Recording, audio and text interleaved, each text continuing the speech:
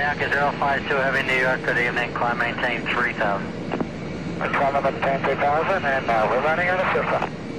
Okay, uh, fly heading at 080. Avianca 052, we just uh, lost two engines and we need the priority, please. Avianca 052, turn left heading 250, intercept the localizer. Roger. Avianca 052, you have, uh, uh, you have enough fuel to make it to the airport? Avianca 052, radar contact lost. On a cold and foggy January evening in 1990, one of the most unbelievable events in aviation history would take place. A passenger plane carrying 155 passengers and crew crashes into a Long Island suburb, killing 73 people. Avianca Flight 52 ran out of fuel over New York after being stuck in holding, draining away the plane's entire fuel supply. After a failed attempt at an approach at New York's Kennedy Airport, the pilots had to abandon the landing due to violent weather and wind shear. With hardly a drop of fuel left in the tanks, the Avianca plane subsequently crashed into a neighborhood on Long Island. How did this happen? What weather did the pilots fly into? And just who was to blame for the accident?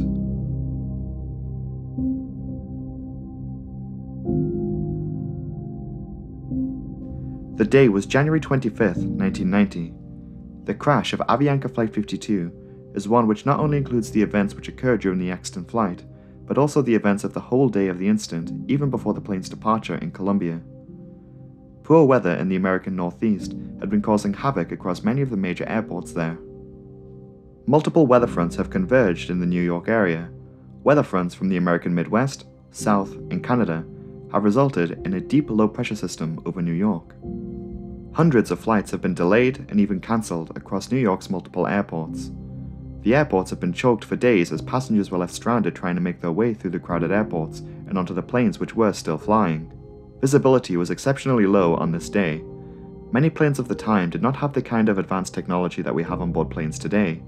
In 1990, most passenger aircraft still use analog displays.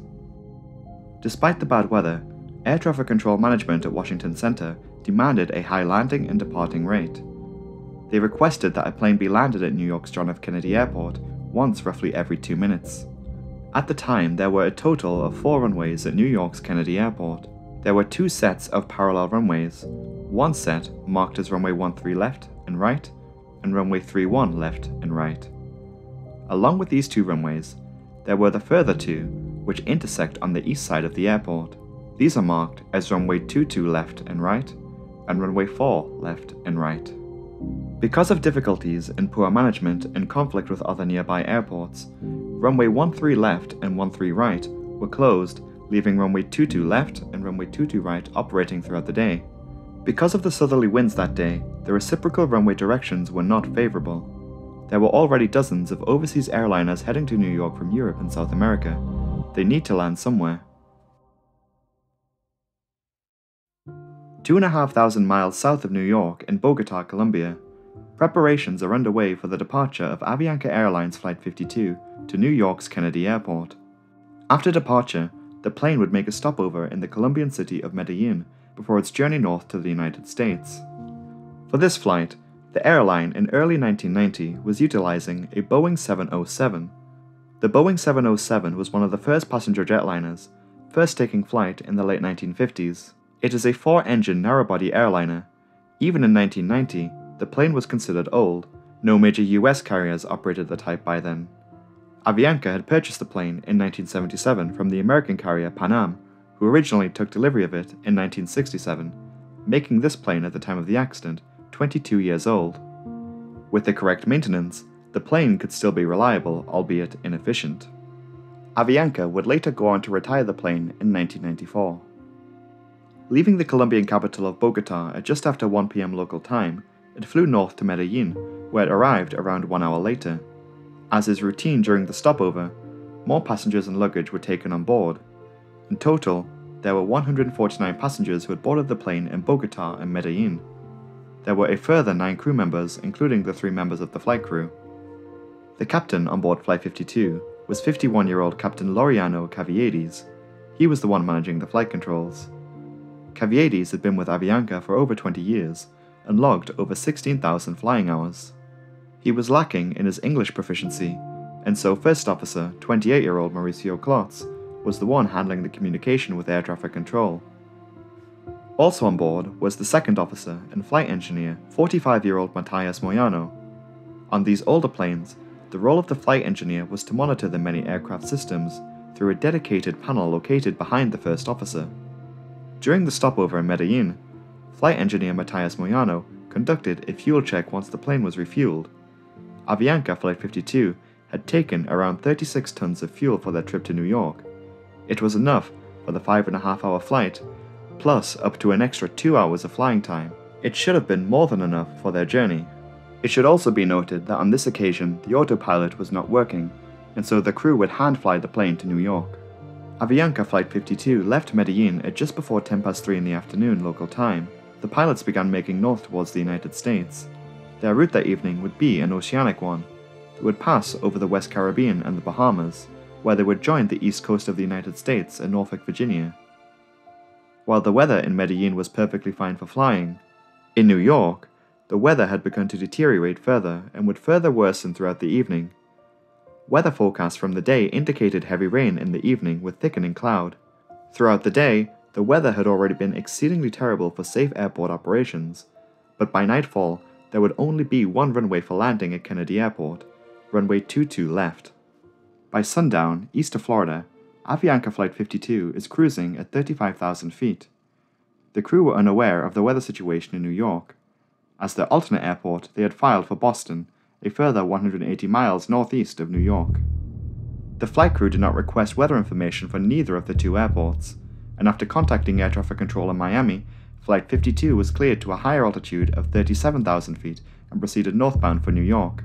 The first indication of trouble ahead for the Avianca crew came in at 7.04 pm, where once going on frequency with New York controllers, ATC had given the flight crew the first of what would be multiple sets of holding instructions.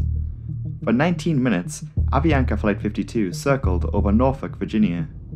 In the aviation industry, it is not uncommon for planes to be put into holding and have to circle away from their destination for a while if the traffic load is heavy at the destination airport. Passenger planes carry more than enough fuel for not only the amount needed to make the trip, but also a substantial amount of fuel in reserve for scenarios such as this. At 7.23, Flight 52 left the first holding at the Norfolk Vortac and continued northbound en route to New York. Nearly 200 miles to the northeast, just 80 miles from Kennedy Airport, Avianca Flight 52 was given their second hold and pattern at the Botan Airway intersection located above Atlantic City at 7.43. In this second hold, Flight 52 would stay in this holding for a further 29 minutes. By the time that they would leave Botan for their next holding, Flight 52 would have started to eat into its reserve fuel. Nonetheless, the crew of Avianca Flight 52 remain in high spirits, as at this point there was no need for concern. At 12 minutes past 8 in the evening, air traffic control cleared Flight 52 out of the Botan holding, where the plane was also descended to a lower altitude of 14,000 feet by the time that they reached their next waypoint, Cameron. The plane flew for a further 45 miles until it reached this intersection, where Flight 52 was once again placed into another holding pattern for another 29 minutes, between the time period of 8.18 and 8.47. The plane should have already landed by now as the reserve fuel begins to slowly drain away. The attitude of the flight crew would begin to change as it had become apparent that they had been in holding for so long that the opportunity to divert to their alternate airport, Boston, had now passed as they would no longer make it if necessary. At 8.44, air traffic control in New York had informed the crew of Flight 52 to expect further holding it was at this point that First Officer Mauricio Klotz replied with this message. The controller then asked for just how long they can hold and for details about their alternate airport. The flight engineer, Matthias Moyano, would have quickly calculated an estimate for just how much longer they can feasibly hold before needing to make an approach, and the sum of that time was just 5 minutes. The first officer relayed this information to ATC along with their alternate information, citing that they can no longer make it to Boston as they would run out of fuel. The language used by the first officer would later be criticized by some. The word he used in not only this transmission but also later radio messages was priority. At no point will the first officer use the word emergency. We will come back to this use of language later. The controller the Flight 52 had been in communication with then initiated a landline call to an approach controller with regards as to whether they could take Flight 52 in for an approach. The approach controller asked to slow the plane so that they would then be accepted. The controller, who had been handling Flight 52 up till this point, would later reveal that they did not make note of the key piece of information about Flight 52's fuel situation, and so, the Avianca plane was handed off to an approach controller without them knowing that they could no longer make it to their alternate airport. Avianca Flight 52 reduced speed to 180 knots and was cleared on an approach to Kennedy Airport at 847. Because of their lack of fuel, there was effectively no other options for landing. They needed to make it on this one approach that they had. The weather had not improved at the airport, visibility was still exceptionally low, and wind shear was being reported on final. Multiple planes ahead of Flight 52 had made missed approaches. Flight 52 was then told at 8.54 to make a right-hand turn for a further holding. Not including the time between each of the holding patterns, the plane has spent over 70 minutes holding waiting to get into the airport. A significant portion of that time was spent at a lower altitude burning a higher quantity of fuel. Two minutes later, at 8.56, the approach controller clears Avianca Flight 52 onto the approach path for runway 22 left. To do this, the pilots must fly their plane northeast of the airport over Long Island before making a series of left turns to line up with the runway on a 12 mile final.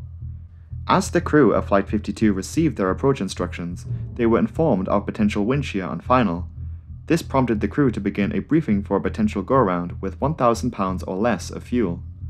Flight engineer Matthias Moyano informed Captain Caviedes that should they need to make a go around, they must slowly bring the nose of the plane up to avoid what little fuel they have left from sloshing around in the tank, risking a flameout on the engines. The flight crew were now aware of just how precarious their situation was. Despite this, they remained confident in their ability to land the plane as they were handed off to a Kennedy Tower controller. To guide them to the runway, the pilots will use the guidance of an Instrument Landing System, or ILS. By switching their navigation instruments to a radio frequency corresponding to the runway localizer, the onboard flight director will guide the pilots through the low visibility to the foot of runway 22 left. Ideally, all the crew needed to do in this scenario is to keep the yellow flight director markers centered on the artificial horizon instrument. Captain Caviedes at the controls was the one flying the plane during this approach phase. The time was now 11 minutes past 9 in the evening, with 13 miles to fly to the runway, the captain calls off flaps and selects the ILS on his displays. Avianca Flight 52 is now lined up with the runway at 2,000 feet. In just a few minutes, they should be on the ground, and the long marathon of a flight will be over. At 9.16, the captain suggests lowering the landing gear, however, First Officer Klotz believes that it is too early to drop the gear just yet. This move to delay lowering the landing gear was likely done out of needing to increase fuel efficiency and save as much fuel as possible. The more drag on the plane, the more fuel and energy it will need to keep flying at a stable pace. The tower asked Flight 52 to increase their airspeed by 10 knots at 9.17. At 9.18, Flight 52 joins the glide slope on runway 22 left at Kennedy Airport and begins to descend to the runway. None of the pilots at this point can see the runway ahead of them. Captain Caviedes requests now that the landing gear be lowered, and the landing checklist is performed. With the Boeing 707 configured for landing, landing clearance was received at 9.20. So long as the pilots could find the runway through the thick fog and low visibility, they could have been able to land. However, neither the captain, first officer, nor flight engineer would be able to see the runway during this landing attempt. At just over 3 miles to the airport, the plane drops below the glide slope as is indicated by this graph detailed in the NTSB accident report. Following this, the plane would then climb above the glide slope before entering severe wind shear. Wind shear occurs when there is a region of air where the wind direction can change drastically over a short distance. At 9.23 and 8 seconds, the Boeing 707 issues a glide slope warning and the ground proximity warning system warns the plane is beginning to drop and heavily lose altitude. Over the course of the next few seconds, Avianca Flight 52 will lose around 80% of the altitude it had left. At just over 1 mile to the runway, the plane has dropped to just 200 feet above the ground the pilots can still not find the runway. It was at this moment that Captain Caviedes ordered the landing gear to be raised and makes a missed approach. Avianca Flight 52 nearly crashed on its approach attempt. At 9.23 and 34 seconds, First Officer Klotz radioed to the tower that they were making a missed approach. Because the information regarding Flight 52's fuel situation was lost in ATC two controllers ago, the tower is unaware of their fuel emergency. The tower directs Flight 52 away from Kennedy Airport to the east. They will need to begin their approach all over again. To do this, Flight 52 was vectored out over Long Island, where the first officer contacted New York Approach for the second time that evening. The publicly available ATC recording begins just after First Officer Mauricio Klotz contacts New York Approach with the message of Approach, Avianca 052 Heavy, we just missed a missed approach, and we are maintaining 2000. Avianca 052 Heavy New York, good evening, climb maintain 3000. It's one of them 10,000 and uh, we're running out of system. Okay, uh, fly heading at 080. Just before the first officer made that transmission, Captain Caviedes asked him to inform approach that they simply do not have fuel. For several minutes, Avianca Flight 52 was directed northeast of Kennedy Airport in an attempt to line the plane back up on the 12 mile final that they were given on the first approach. They have just mere minutes of fuel remaining. And Avianca 052 Heavy, uh, I'm going to bring you about 15 miles northeast and then turn you back on for the approach. Is that fine with you and your fuel? I guess so, thank you very much. Avianca 52, climb maintain 3000. Uh, negative, sir, we, we just running out of fuel. We, we were good. Okay, 3,000, I'll be good. Okay, turn left heading 310, sir. You want zero, I think it's 052. On multiple occasions, according to the cockpit voice recorder transcript, the captain had asked the first officer to declare an emergency. Despite this, First Officer Klotz would never issue a mayday or even use the word emergency in his vocabulary when conversing with ATC. In lieu of this, he instead requests priority, which is not a standard term in aviation radio telephony. It is unknown as to why he used this term. Even the Spanish and English word for emergency are similar in spelling and pronunciation. Although, according to a public hearing after the accident, Another Avianca pilot had revealed that the term priority may have come from a Boeing bulletin which used the word in relation to fuel emergencies. At 9:32, the Boeing 707's two right board engines flame out due to fuel starvation. That was when the first officer relayed the following message to ATC. Avianca 052, we just uh, lost two engines and we need the priority, please. Avianca 052, turn left heading 250, intercept the localizer. Roger. The approach controller did manage to issue Flight 52 with another approach clearance for ILS on runway 22 left again, and this was acknowledged by the first officer. However, 12 seconds after doing so, the cockpit voice recording ends. It is likely at this moment that the remaining two engines then flamed out, once again due to lack of fuel. Once this happened, electrical systems across the plane began shutting down. This would have included most of the aircraft's lighting. The accounts of surviving passengers recalled the distinctive sound of the engine spooling down and the wind hitting the fuselage as the plane descended to the ground. With being at a slow speed in preparation for landing, Flight 52 did not have a great deal of speed and therefore was not able to glide much further. It is unknown on what happened inside the cockpit between then and the moment that the plane came down, but according to radar data and recordings, the plane did make a turn to the left on its final descent to the ground from 3,000 feet of altitude. At 9:34, the controller issued a message to the plane to which there was no response. Avianca 052, you have, uh, uh, you have enough fuel to make it to the airport?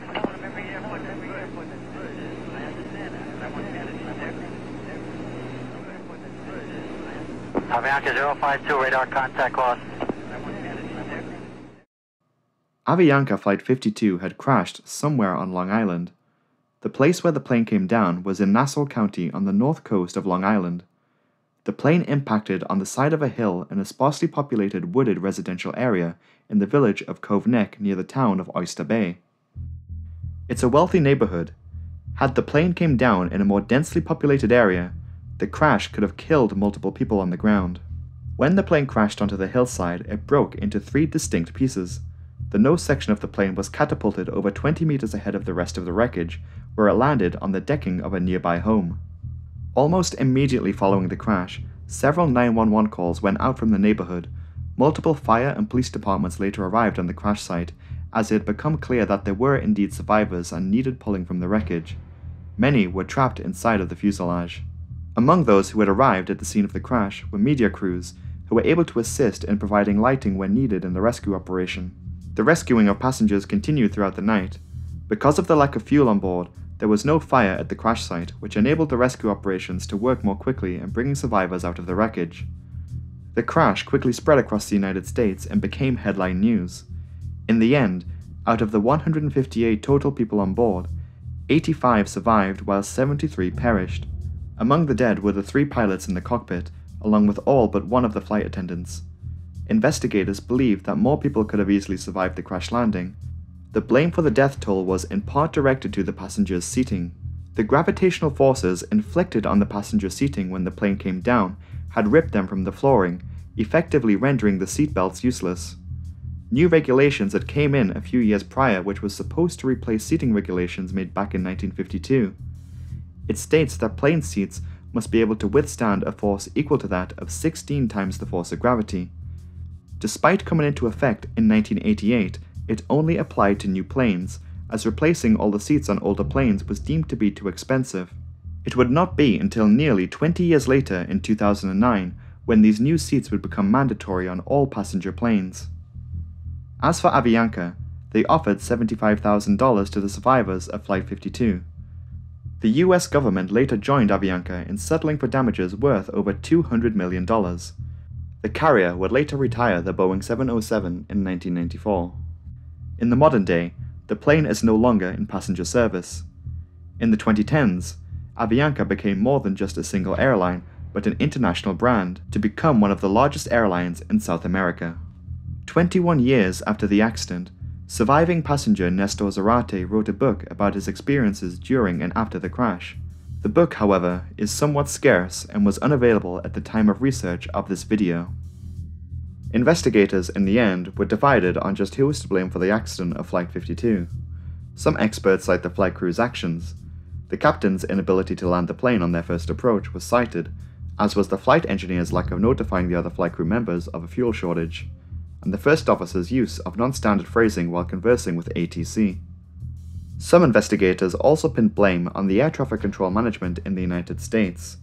Controllers had been trained so that the three terms that they would respond to immediately were emergency, the Pan Pan urgency call, and the Mayday distress call. The controllers did not consider the word priority to be indicative of any kind of emergency. However, some believe that more should have been done when the first officer had said, We are running out of fuel.